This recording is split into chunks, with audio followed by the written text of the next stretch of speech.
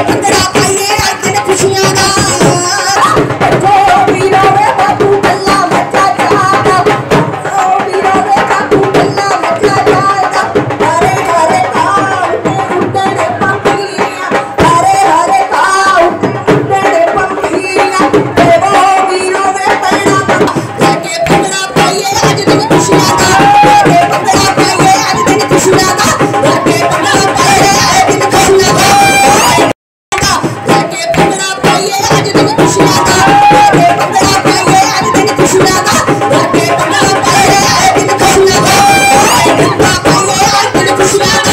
ਸ਼੍ਰੀ ਅਕਾਲ ਜੀ, ਤੁਸੀਂ ਜੁੜ ਚੁੱਕੇ ਹੋ ਨਿਰਪੱਖ ਪੋਸਟ ਦੇ ਨਾਲ।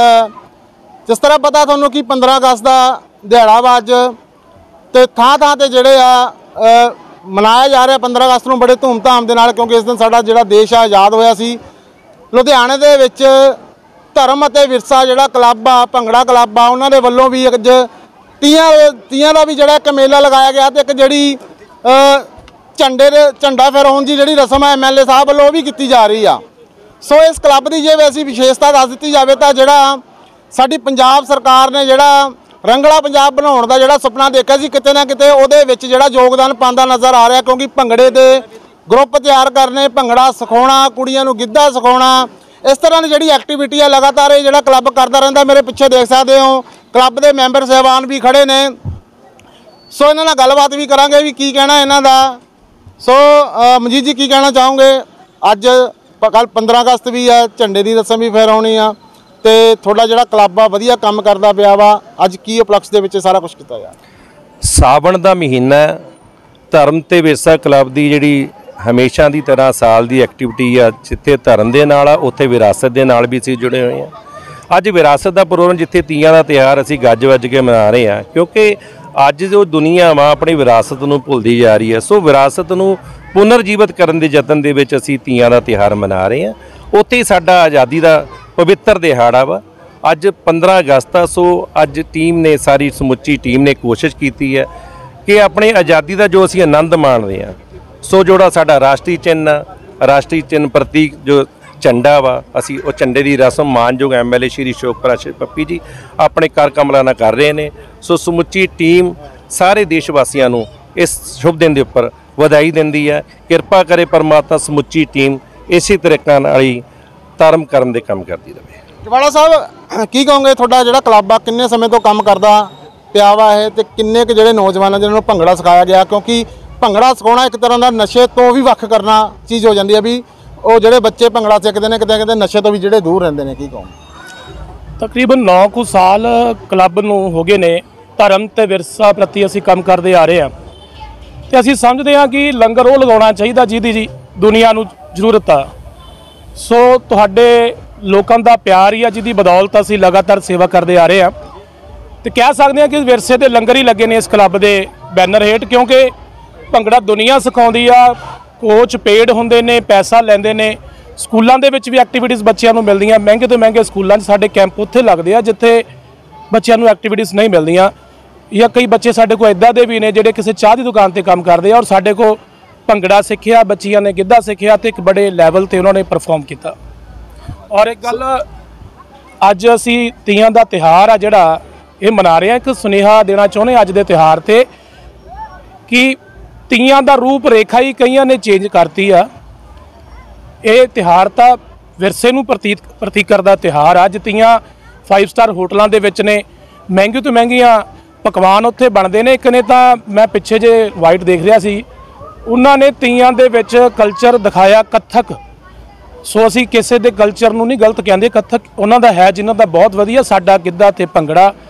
ਅਸੀਂ ਆਪਣੇ ਤਿਹਾਰਾਂ ਨੂੰ ਪੰਜਾਬੀਆਂ ਨੂੰ ਪ੍ਰਮੋਟ ਕਰਨਾ। ਅੱਜ 15 ਅਗਸਤ ਦਾ ਜਿਵੇਂ ਨੈਸ਼ਨਲ Song ਆ ਕਿ ਜੋ ਸ਼ਹੀਦ ਹੋਏ ਆ ਉਨਕੀ ਜਦਾ ਯਾਦ ਕਰੋ ਕਹਾਣੀ ਕਿਹਨਾਂ ਸ਼ਹੀਦਾਂ ਦੀ ਅਸੀਂ ਗੱਲ ਕਰਦੇ ਹਾਂ, ਜਿਨ੍ਹਾਂ ਨੇ ਪੰਜਾਬੀਆਂ ਨੇ ਦੇਸ਼ ਲਈ ਆਪਣਾ ਖੂਨ ਦਿੱਤਾ। 15 ਅਗਸਤ ਦੀ, ਪਹਿਲਾਂ ਜੋ 14 ਅਗਸਤ ਦੀ ਰਾਤ ਸੀ 5 ਲੱਖ ਪੰਜਾਬੀਆਂ ਦਾ ਹੀ ਤਕਰੀਬਨ ਖੂਨ ਗਿਆ।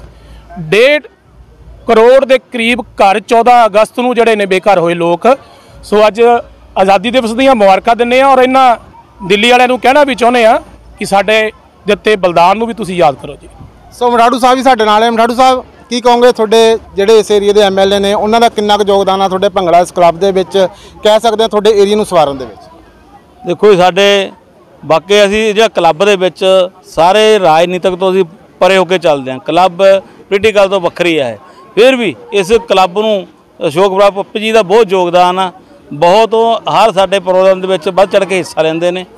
ਤੇ ਵਧੀਆ ਪ੍ਰੋਗਰਾਮ ਉਹ ਸਾਡੇ ਐਨ ਵੱਧ ਚੜ ਕੇ ਹਿੱਸਾ ਲੈਣ ਤੋਂ ਬਾਅਦ ਸਾਨੂੰ ਕੋਈ ਨਾ ਕੋਈ ਫੰਡ ਵੀ ਮੁਹੱਈਆ ਕਰਵਾਉਂਦੇ ਨੇ। ਵਧੀਆ ਸਾਡਾ ਸਹਿਯੋਗ ਕਰ ਰਹੇ ਨੇ। ਸੋ ਜੇ ਗੱਲ ਕੀਤੀ ਜਾਵੇ ਇਹਨਾਂ ਨੇ ਦੱਸਿਆ ਵਾ ਜਿਸ ਤਰ੍ਹਾਂ ਕਲੱਬ ਕੰਮ ਕਰਦਾ ਵਾ ਏਰੀਆ ਦੇ ਵਿੱਚ ਵੀ ਦੱਸਿਆ ਕਿਸ ਤਰ੍ਹਾਂ ਧਰਮ ਦੇ ਨਾਲ ਜੁੜਿਆ ਹੋਇਆ।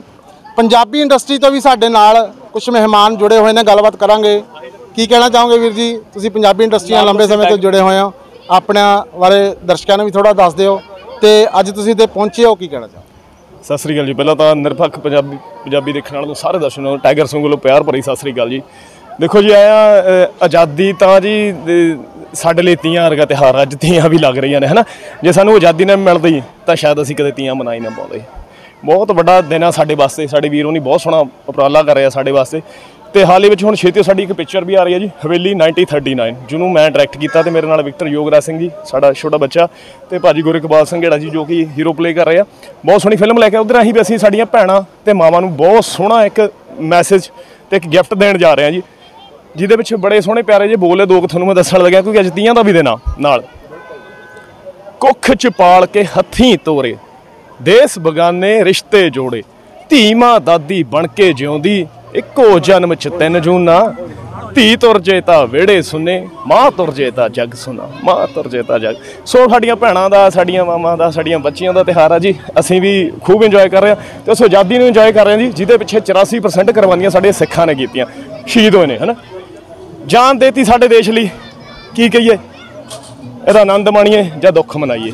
ਸਾਨੂੰ ਸ਼ਾਇਦ ਸਾਡੇ ਪੰਜਾਬੀਆਂ ਨੂੰ ਅੱਜ ਵੀ ਉਹ ਦਰਜਾ ਨਹੀਂ ਮਿਲਿਆ। ਸਾਨੂੰ ਚਾਹੀਦਾ ਸਾਡੇ ਪੰਜਾਬੀਆਂ ਨੂੰ ਸਾਡੀ ਕੌਮ ਨੂੰ ਸਰਕਾਰ ਉਹ ਹੱਕ ਦੇਵੇ, ਉਹਦੇ ਉੱਤੇ ਵੀ ਚੰਦ ਲੈਣਾ ਮੈਂ ਬੋਲਣ ਲੱਗਿਆ ਜੀ।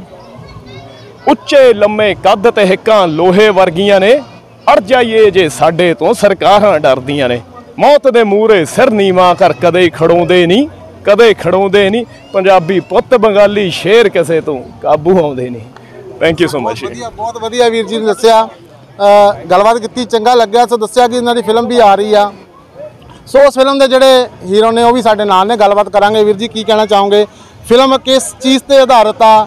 ਕੀ ਲੋਕਾਂ ਨੂੰ ਸੇਧ ਦੇ ਰਹੀ ਆ ਤੇ ਕੀ ਕਹਿਣਾ ਚਾਹੋ ਵੀਰ ਜੀ, ਇਹ ਵੈਸੇ ਪੁਰਾਣੇ ਜ਼ਮਾਨੇ ਦੀ ਮੂਵੀ ਅਸੀਂ ਬਣਾਈ ਹੈ ਜਿਹੜੀ ਇਹ ਹੈ ਹਾਰਰ ਮੂਵੀ ਹੈ ਫਸਟ ਪੰਜਾਬੀ ਹਾਰਰ ਮੂਵੀ ਬਣਾ ਰਹੇ ਹਾਂ ਜੀ ਅਸੀਂ। ਉਹ ਨੀਅਰਲੀ ਕੰਪਲੀਟ ਹੈ ਤੇ ਪਰ ਇੱਥੇ ਆ ਕੇ ਜੀ ਅੱਜ ਬੜਾ ਅੱਛਾ ਲੱਗਿਆ। ਮੈਂ ਪਹਿਲੀ ਵਾਰ ਦੇਖਿਆ, ਇਹ ਵੀਰ ਜੀ ਹੋਣੀ ਬੜਾ ਵਧੀਆ ਉਪਰਾਲਾ ਕਰ ਰਹੇ ਆ।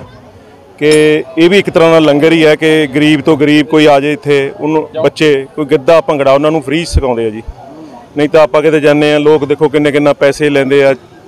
ਪਰ ਇਹੋ ਜਿਹਾ ਉਪਰਾਲਾ ਇਹ ਮੈਂ ਪਹਿਲੀ ਵਾਰ ਦੇਖਿਆ ਜੀ। ਅੱਜ ਬਹੁਤ ਵੱਡਾ ਦਿਹਾੜਾ ਆਪਣਾ ਦੇਖੋ 15 ਅਗਸਤ ਦਾ। ਤੇ ਉੱਤੋਂ ਇਹਨਾਂ ਦੇ ਤੀਆਂ ਦਾ ਮੇਲਾ। ਸੋ ਦੇਖਿਆ ਜਾਵੇ ਤਾਂ ਇਸ ਚੀਜ਼ ਦੇ ਨਾਲ ਕਿਤੇ ਨਾ ਕਿਤੇ ਨੌਜਵਾਨ ਨਸ਼ਿਆਂ ਤੋਂ ਵੀ ਤਾਂ ਦੂਰ ਰਹਿੰਦੇ ਉਹ ਤਾਂ ਹੈ ਜੀ ਜਦੋਂ ਆਪਾਂ ਇਹ ਦੇਖੋ ਇਹ ਇਹ ਆਪਣਾ ਗਿੱਧਾ ਭੰਗੜਾ ਜਾਂ ਕੋਈ ਸਪੋਰਟਸ 'ਚ ਬੱਚੇ ਆਉਂਦੇ ਆ ਤੇ ਉਹ ਨਸ਼ਿਆਂ ਤੋਂ ਦੂਰ ਹੀ ਰਹਿੰਦੇ ਆ ਜੀ ਫਿਰ, ਕਿਉਂਕਿ ਉਹਨਾਂ ਦਾ ਧਿਆਨ ਇੱਧਰ ਲੱਗ ਜਾਂਦਾ, ਜਦੋਂ ਬੱਚਿਆਂ ਕੋਲ ਕੁਝ ਕਰਨ ਨੂੰ ਨਹੀਂ ਹੁੰਦਾ, ਫਿਰ ਉਹ ਨਸ਼ਿਆਂ ਵੱਲ ਨੂੰ ਜਾਂਦੇ ਆ। ਤੋ ਇਹ ਵੀਰ ਜੀ ਦਾ ਬਹੁਤ ਧੰਨਵਾਦ, ਇਹਨਾਂ ਨੇ ਬਹੁਤ ਵੱਡਾ ਉਪਰਾਲਾ ਕੀਤਾ, ਜਿਹੜਾ ਫ੍ਰੀ 'ਚ ਬੱਚਿਆਂ ਨੂੰ ਸਿਖਾ ਰਹੇ ਆ ਜੀ ਇੱਥੇ। ਦੇਖੋ ਜੀ, ਕਿੱਦਾਂ ਭੰਗੜਾ ਪਾਉਣ ਲਈ ਵੀ ਨਾ ਪੱਟਾਂ 'ਚ ਬਹੁਤ ਜ਼ੋਰ ਚਾਹੀਦਾ ਹੈ ਨਾ ਉਹ ਇੱਕ ਐਕਸਰਸਾਈਜ਼ ਆ। ਸਾਡੇ ਪੰਜਾਬੀਆਂ ਦੀ ਬੜੀ ਪੁਰਾਣੀ ਐਕਸਰਸਾਈਜ਼ ਆ ਇਹ ਹੈ ਨਾ ਰਣਜੀਤ ਬਾਬੂ ਦਾ ਬੜਾ ਸੋਹਣਾ ਗਾਣਾ ਸ਼ਾਇਦ ਮੈਂ ਅੰਦਰ ਹੁਣ ਸੁਣ ਰਿਹਾ ਸੀ। ਸਾਡੇ ਕੋਚ ਸਾਹਿਬ ਨੇ ਤਾਰੀਫ ਕਰਤੀ thank you coach Sahib ji ਬਹੁਤ ਅੱਛਾ ਕੰਮ ਕਰ ਰਹੇ ਹੋ ਜੀ ਤੁਸੀਂ। ਬਹੁਤ ਹੀ ਅੱਛਾ ਦੇਖੋ ਨਾ ਸਾਡੀਆਂ ਸਿਹਤਾਂ ਮਜ਼ਬੂਤ ਨੇ ਸਾਡੇ ਜੁੱਸੇ ਮਜ਼ਬੂਤ ਆ। ਨਾਲੇ ਇੱਕ ਵਾਰ ਪੰਜਾਬ ਨੂੰ ਹਰ ਵਾਰ ਇੱਕ ਗੱਲ ਬੋਲੀ ਜਾਂਦੇ ਕਿ ਨਸ਼ਿਆਂ ਨੂੰ। ਮੈਂ ਤਾਂ ਦੇਖਿਆ ਨਹੀਂ। ਯਾਰ ਕਾਹਤੇ ਬਦਨਾਮ ਕਰਨ ਲੱਗੇ ਪੰਜਾਬ ਨੂੰ ਬੇਮਤਲਬ ਤੋਂ ਬੋਲ ਕੇ ਨਸ਼ੇ ਨੇ ਨਸ਼ੇ ਨੇ। ਉਹ ਜੁੱਸੇ ਝੋਟੇ ਵਰਗੇ ਜੁੱਸੇ ਸਾਡੇ ਪੰਜਾਬੀਆਂ ਦੇ। ਕਿਸੇ ਨੂੰ ਛੱਡਣਾ ਸਾਡੇ ਨਾਲ ਜਦ ਮਰਜ਼ੀ ਛੱਡ ਕੇ ਦੇਖ ਲਿਓ ਹਨਾ? ਇਹ ਛੱਡੋ ਗੱਲਾਂ ਨੂੰ। ਕੋਈ ਪੰਜਾਬ 'ਚ ਨਸ਼ਾ ਨੁਸ਼ਾ ਨਹੀਂ ਬਿਨਾਂ ਮਤਲਬ ਤੋਂ ਪੰਜਾਬ ਨੂੰ ਬਦਨਾਮ ਨਾ ਕਰੋ ਹਨਾ? ਕਹਿੰਦੇ ਹੱਥ ਮਾਰ ਕੇ ਪੱਟਾਂ ਤੇ ਪੈਂਦੀ ਰੇੜ ਨਹੀਂ, ਸੁਣ ਮਟਿਆਰੇ। ਕਿੰਨੇ ਸੋਹਣੀਆਂ ਸੋਹਣੀਆਂ ਚੀਜ਼ਾਂ ਬੋਲਦੇ ਸਾਡੇ ਪੰਜਾਬੀ ਤੁਸੀਂ ਸੁਣ ਲਓ, ਕੋਈ ਗਾਣਾ ਲਾ ਕੇ ਦੇਖ ਲਓ ਨਾ। ਭੰਗੜਾ ਪੈਂਦਾ ਹੈ ਵੀ ਵੇਟ ਮਟ ਕੁੜੀਆਂ ਨਹੀਂ ਹੱਥ ਮਾਰ, ਹਨਾ? ਅਹ ਹੱਥ ਮਾਰ ਕੇ ਪੱਟਾਂ ਦੇ ਉੱਤੇ। ਮਤਲਬ ਸਾਡੇ ਪੱਟਾਂ 'ਚ ਬੜੀ ਜਾਨ ਚਾਹੀਦੀ ਆ, ਭੰਗੜੇ ਤਾਂ ਪੈਂਦੇ ਆ।